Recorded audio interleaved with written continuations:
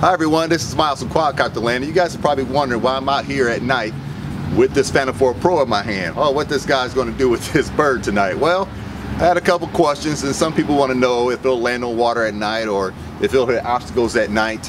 One thing I did find out with this bird is that the obstacle sensors on the front don't pick up as well as these infrareds at night. As a matter of fact, the infrareds work a lot better at night from what I just found out. So what I'm guys going to show you guys tonight is if it will land on water at night or if it'll hit these poles here or any other obstacles here at nighttime. So stick around and see what we got. All right, as you guys can see on here, the ambient light is too weak. So let's go ahead and put her in the air and see what she looks like. Take off. All right. I'm going to go ahead and face it towards this bar and we're going to see if it'll stop.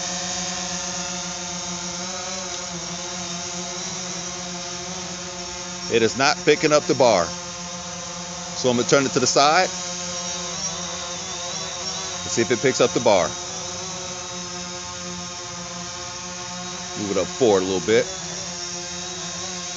Yes, it's picking up the bar. So at night, the infrared works well on the bar. So that's turning around.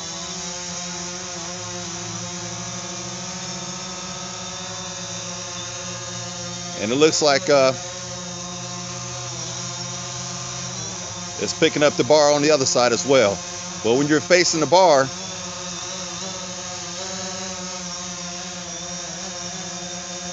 depending on the lighting right now about maybe a foot away it's not picking it up.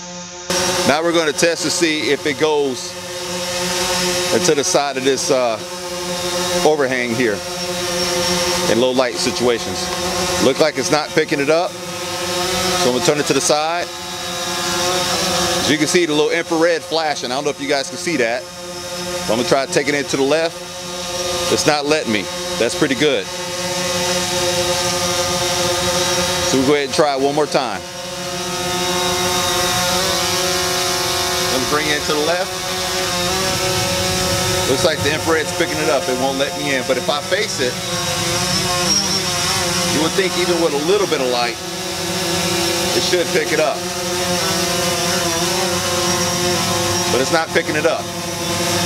So you got to be really careful at night because it doesn't work all the time. So you need to be careful with that. Could try to land the Phantom 4 Pro on water. Let's see what happens.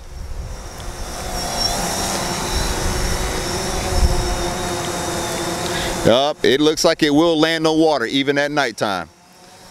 So let's try it again. Wouldn't be a full test if I didn't try it, so let's try it again.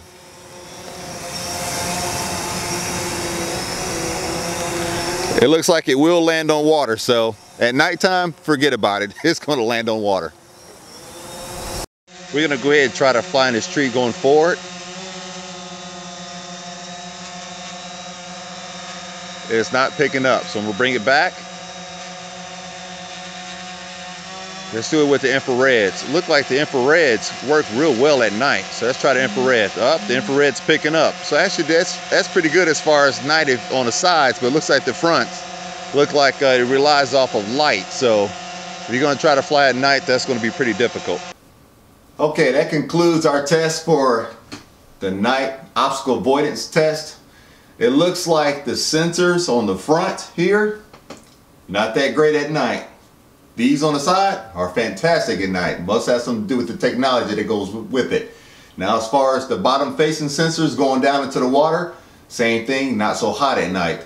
So obviously these sensors in the front at the bottom and the back, they work off of light. Not everybody's gonna be flying their bird at night. I don't even think a quarter of you guys can fly your bird at night. But there are some people that like to take some nice night shots for those guys out there, just be careful.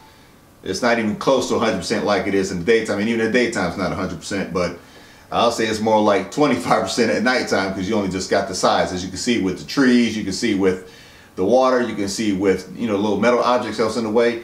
All those obstacles at night, you just need to be real careful and just use your own instincts when you're flying. I hope you guys really appreciate what I showed you tonight. If you like this video, give me a thumbs up and please subscribe. Thank you and have a good night.